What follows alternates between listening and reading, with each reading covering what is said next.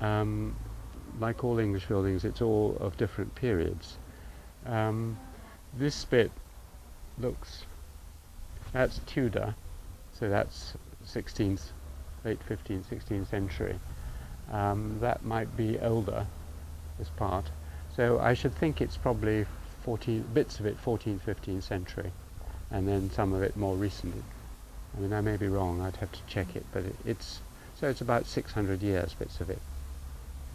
Then considering uh, the size of the village, Yes. I think uh, this church is rather uh, very, very magnificent.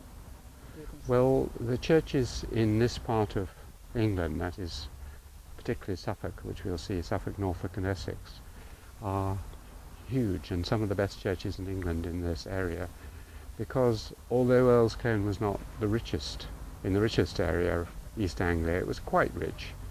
Moderate, this is a moderate, a, a rich village, but in Suffolk and Norfolk because of the sheep industry, which was very, very um, successful in the 14, 13th, 14th century. The English wool was going all over Western Europe. It was going down through France to Spain to Italy.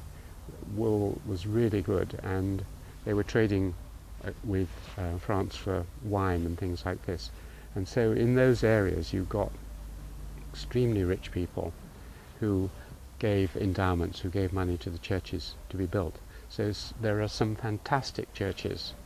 Uh, we might see one or two today. This is a good church. It's a nice church. And it shows the dominance and the importance of religion in England.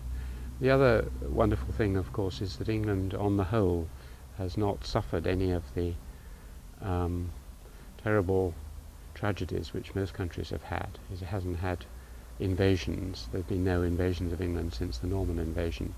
There wasn't much bombing around here, and as a result, um, and the climate is all right. So as a result, the buildings have remained.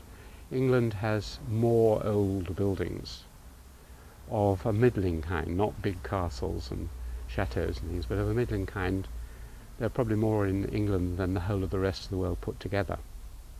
I mean, all the middling buildings in China or Japan or France were all destroyed by wars and invasions. Here they've remained. So we can walk, uh, when we go into Earls Colne, we can walk into a village which, behind the front, as you go into deeper in, will take you back 600 years. Many of these buildings are old, they've got old oak timbers and walls and rooms which were there 200 years before Shakespeare. Shakes, this was an old village before Shakespeare, and it was wealthy, and it had a market, and it had many, many, and it was full of money and exchange, and people were coming, going to London and coming back from London, and there were London merchants were coming up here and buying houses, and people from here were going to London and making fortunes, Dick Whittington kind of thing. So it was part of a bigger world, and even in terms of knowledge, when we edited Josselin's diary, he, he wasn't just interested in this little parish.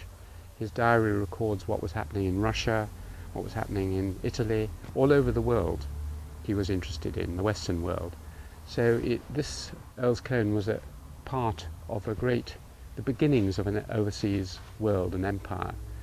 And then it became central because people from here, with their interests and wide interests and good education. There was a very good Earls Colne Grammar School in the 16th century, 17th century.